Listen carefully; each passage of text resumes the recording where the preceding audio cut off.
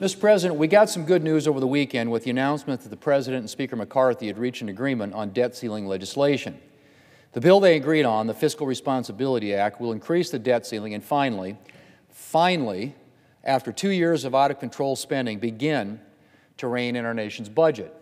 And I'm tremendously grateful to Speaker McCarthy and to House Republicans for their tireless work to make sure that any legislation to raise the debt ceiling was paired with meaningful spending reforms. The Fiscal Responsibility Act cuts discretionary spending next year and then limits discretionary spending increases to 1% each year over the subsequent five years. It claws back unspent COVID funds, repeals excess IRS spending, ends the student loan repayment moratorium, which is currently costing taxpayers $5 billion a month. In fact, the bill rescinds more unobligated government money than any bill in American history.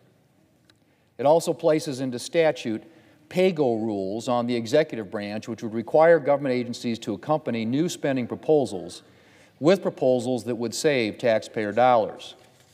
On top of all this, the Fiscal Responsibility Act makes a down payment on permitting reform to help get energy projects off the ground more quickly, which will help encourage domestic energy production and drive down energy prices for American families.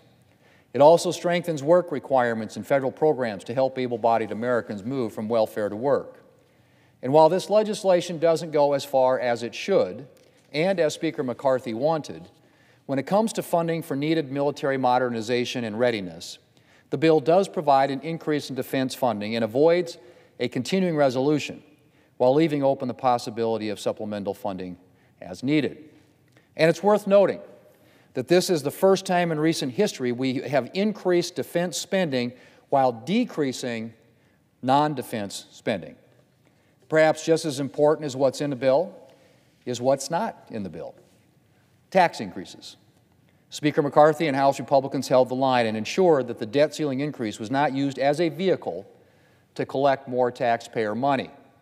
And they also ensured that the bill did not contain any new government programs. Now, Mr. President, is this a perfect bill?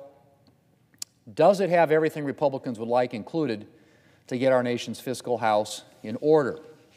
No, it doesn't. But perfect bills are rare and they're even more rare in a time of divided government.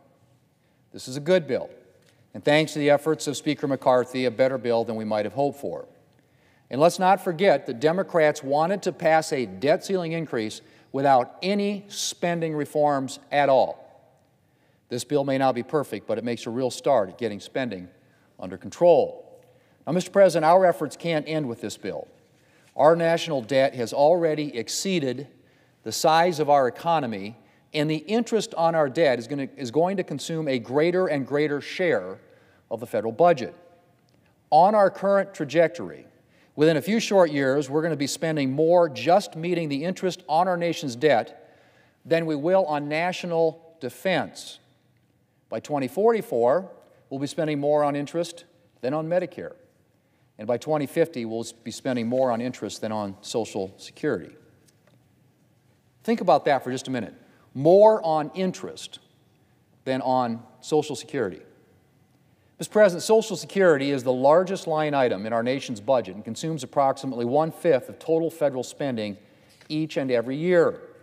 The fact, the very fact that our national debt is on track to grow to the point where we are paying more just on interest than on Social Security should be a wake up call to lawmakers in both parties that spending reform has to be a top priority here in Washington.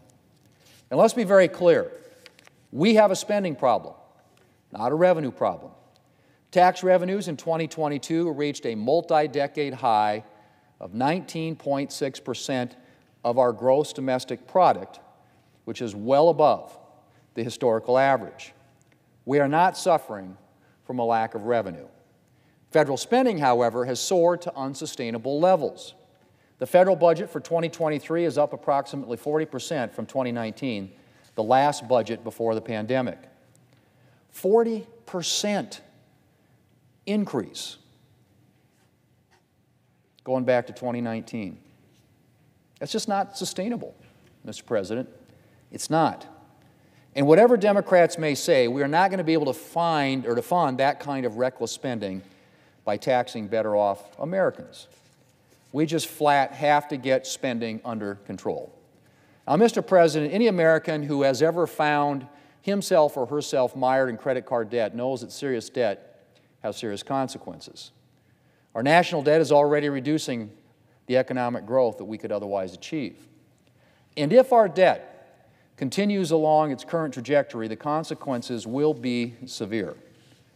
Diminished economic opportunities and growth, an increasing difficulty meeting our government's most basic responsibilities, from national defense to Social Security and Medicare.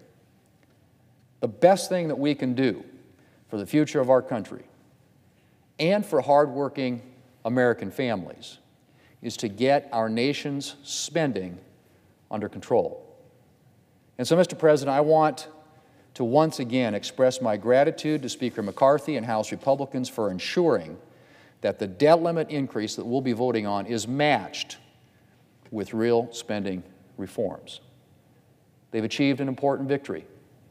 And I hope that the Fiscal Responsibility Act will be just the first step in a larger campaign to get our nation's fiscal house in order and ensure a better economic future for the American people. Mr. President, I yield the floor.